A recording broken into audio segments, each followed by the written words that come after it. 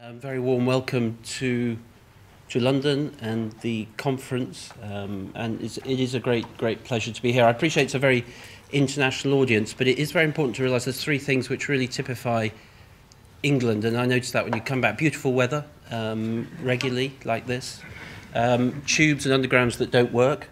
Uh, most of the participants, I think, are stuck some, somewhere on the Jubilee line. Is that true?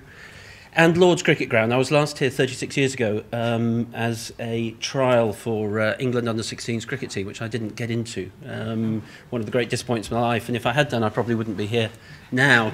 Um, I'd be on that wall. But anyway, you can't, you can't regret what you didn't do. So it's great personal interest as well. Neglected tropical disease, as you heard in that very um, kind introduction, uh, and it's a personal interest. And of course, what the director of the Wellcome Trust wants is not necessarily translated into Wellcome Trust interests and policy.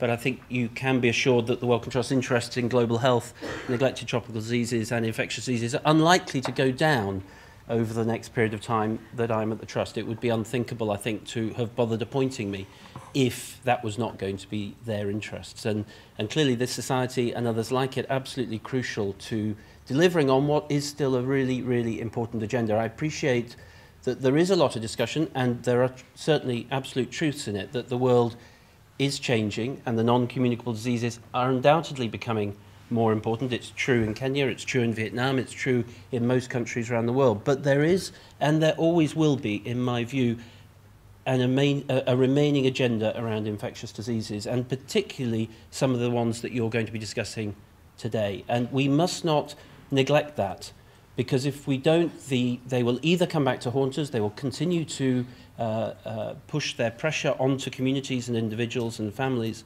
uh, around the world. And it's absolutely crucial that if we can, that unfinished business is finished. And in that light, it's very uh, encouraging to see so many people obviously many old friends here, um, but also people increasingly, I think, from uh, obviously academia, but also from industry. And the links between academia, industry, policymakers, uh, and people, absolutely critical to, I think, to making sure that we all make the progress uh, that we want to see in this, this area. And the discussions going on today about drug discovery and development and pushing it through into implementation and practice are absolutely crucial to that. And the reason I can't actually stay today for the whole day is because I'm going later today to a meeting of the Equator Group who are looking at the ways that we can make the pathway through to clinical trials and implementation of the things discovered by many of the people in this room to make that more efficient. Because in this particular space, in fact, in the whole of clinical research. But in this particular area, I think we have to work hard to continue to make sure the way we translate what we discover is made as easy as possible. If we don't, we will not be able to afford to do what we wish to do. Uh, no matter which bits of industry are involved with us, no matter which bits of government or which bits of philanthropy, if we don't make and turn, roll back the, I believe, somewhat ridiculous uh, regulation and processes around clinical research and implementation of that research into practice, then we won't see the discoveries that are crucial. Uh, and we won't have the funding that will allow us to do that. An approach to that also, which many of you in this room from academia and industry are embracing, and we would at the Wellcome Trust certainly like to see expanded, is areas around pre-competitive open source uh, uh, issues around discovery programs, whether that's in the Dundee or whether it's in Tres Cantos in, in Spain or whether it's in the Cambridge cluster and including the Wellcome Trust uh, Sanger Institute and EBI. We are very much in favour of that and I think that is going to be the only model by which we can actually do that and it's wonderful to see people from Dundee here who I think in some ways have pioneered that approach.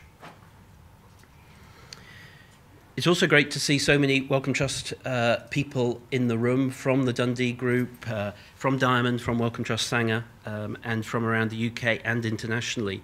Uh, the Trust has played an international role, I think, ahead of its time, and it will increase that interest. Uh, we will have in the future an annual meeting between the Trust and the World Health Organization to try and make sure that the WHO and the Wellcome Trust understand each other uh, and understand what we each can and cannot do uh, and where there are areas of common interest, whether it be in uh, technical assistance or in development or in implementation, we will try and be a, a very active partner in that. And I hope that will help uh, everybody in this room who is involved in that space. Equally, uh, with the Bill and Melinda Gates Foundation, where the Trust relationship with the Gates Foundation has over time been challenging for both partners, I think, and we will seek to make sure that those relationships improve. Again, to make sure that those big organizations are behind the sorts of things that everybody in this room is trying to achieve.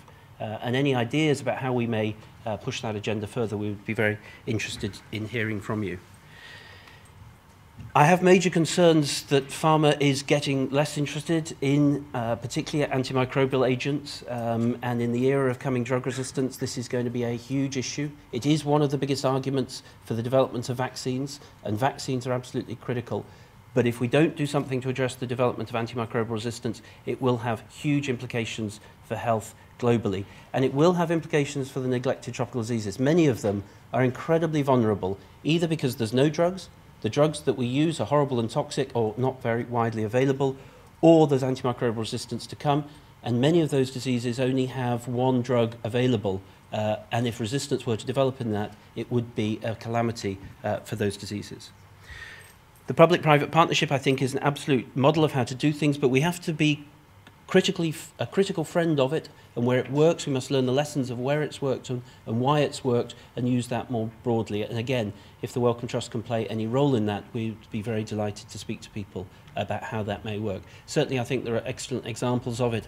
And, and there's representatives here from for instance uh, Medicines for Malaria Venture which I think has been a very positive force for good in the development of, of new medicines for malaria It is great to see dengue represented here and the development of dengue vaccines will be a pivotal moment in 2014 for the world of dengue, one of the world's great increasing diseases uh, and diseases that are affecting increasingly not just Southeast Asia and sub, uh, Latin America, but also increasingly sub-Saharan Africa. And that will have major implications. And very interested to stay and listen to the update, uh, although I will hear all the real data when it comes out uh, with the WHO committee, which I'll continue to chair for another few years. So thank you very much for the time to um, introduce the day. I wish you every success for the meeting. I look forward to seeing many of you in the Wellcome Trust in the months and years ahead. And if the Wellcome Trust can play a role in this space, we would like to. The door to the Trust is always open. The coffee is good. 99% of people, 99.9% .9 of people in the Wellcome Trust are actually quite nice. Uh, you can come in and see us and discuss what you wish to do or your ideas and we are open for any good ideas in any field, and our funding mechanisms should and do reflect that. Thank you very much.